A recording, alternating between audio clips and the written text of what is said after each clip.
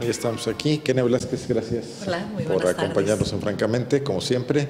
Y en, el, en Skype nos está escuchando eh, Miguel Insunza, cantante que estará en León, cantautor, mejor dicho. en- pues muy pronto, ¿no? Pasado mañana. Sí, no, no sé si ya lo tenemos. Sí. Hola Miguel, ¿cómo estás? Hola, ¿cómo están? Buenas tardes. Hola, muy buenas tardes, Miguel.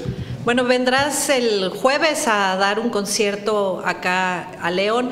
Primero me gustaría que nos platicaras sobre tu música, qué es lo que vas a ofrecer en ese concierto. Bueno, voy a hacer una, un concierto que le hemos llamado eh, Luna Retrovisor. Es una especie de recuento de las canciones más representativas de los últimos discos, este, tratando de hacer pues, una, sinopsis de la obra y de las canciones que más demandan y que más pide la, la gente allá. Entonces, pues bueno, es un concierto muy bohemio, muy intimista, así a, a guitarra limpia y algunos loops que, que son como parte de la característica de- principal de mi trabajo, que es como producción instantánea y pedales. Y, y pues un concierto muy, muy intimista, muy próximo, que se antoja así como para, para bohemia. Eh, bueno, y veía en alguna información que estuve checando sobre ti, Miguel, que vives en Querétaro, entonces pues estás relativamente cerca, conoces bien al público de esta zona del país. Sí, bueno, vivo en el DF, pero mis padres viven a- aquí en Querétaro. Yo ahora estoy en, en la casa de mis padres. Y, este, y viví muchos años aquí en Querétaro, entonces conozco bien el Bajío. Y como dices, conozco bien, bien la región y en algunas ocasiones canté también allá en, en León y la verdad es que es un público muy lindo. Oye, bueno, tú definirías tu música como trova, nueva trova, ¿dónde te ubicas? Híjole, es, una, es una, una canción con un nivel de riesgo que no sé si es trova porque ya no suena a la trova tradicional por, por evidentes razones que nosotros estamos contaminados de otra música, pero, pero sí sigue teniendo el compromiso de, de- del riesgo en las letras y de ser una canción que escape a lo predecible. Entonces, pues es canción de autor, aunque a pesar de que hay como una especie de confusión con, con el término, porque dicen, si, si eres este, cantautor es que cantas lo que, lo que escribiste tú. Y este, se puede ser cantautor, pero no del género de la canción de autor. La canción de autor es un género que, que tiene esas particularidades, ese riesgo, y yo pertenezco a ese, a ese movimiento, digamos, en el país. ¿Y a qué le cantas, Miguel? Eh, porque bueno, eh, el intimismo no excluye de repente pues unas miradas a la realidad que nos rodea, ¿no? Claro, este, precisamente eso es una de las características principales. Nosotros le cantamos al amor y al desamor, como todos los compositores, a la- a la- al hecho de estar vivos, pero, pero también al entorno que, que nos rodea y este, eh, la realidad que nos está tocando vivir.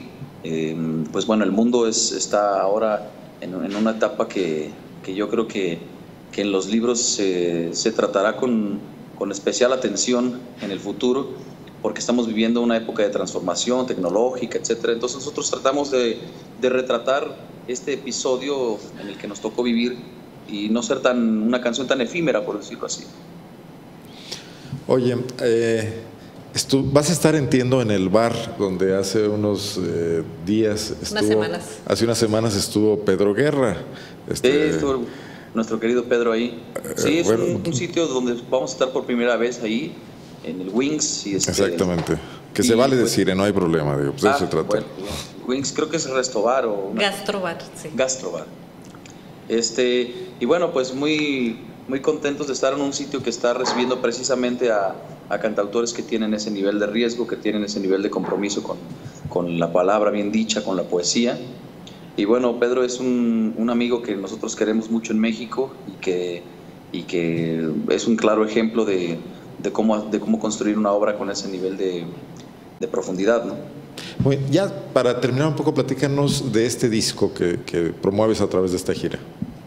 Bueno, estoy promoviendo el disco más reciente que se llama Fábrica de Aves, es un disco que, mm, que salió en el 2014, con el que hemos este, rodado mucho, hemos estado en diferentes países este, y hemos, hemos puesto nuestra canción en, en- vía de, muchos públicos diferentes. Y es un disco que, que yo creo que representa el sonido más actual mío. Tienes un disco que tiene... eh, que como que tiene ya muy bien establecidas cosas que, que a nivel musical me caracterizan.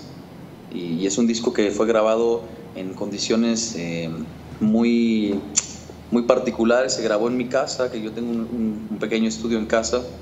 Entonces se grabó con los amigos, un disco que, tiene esa amalgama de... En pantuflas. ¿Perdón? Un disco en pantuflas. Exactamente, lo dijiste, nadie lo había dicho también. un disco en pantuflas está increíble. Oye. Hasta para título de disco. El horario para que lo sepa el público que nos escucha también. Recepción creo es nueve y media, recepción o nueve de la noche. Este, nosotros arrancamos como a las 10, por lo que recomendamos que, que, estén un poquito antes para que, para que estén cómodos, para que, para que tomen bien su lugar con, con calma. Y empezaremos yo creo que como a las 10. Muy bien, aquí en el Wings que está en Francisco Villa. Sí. sí. Muy bien. En una pues, placita. Pues. Oye, pues mucho éxito. Gracias, Mucha suerte y gracias, por habernos aceptado esta charla.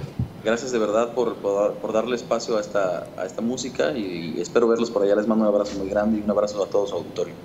Muy bien, mucho éxito. Hasta luego. Bueno, muchas gracias a Miguel Insunza. Vamos a continuar en Frank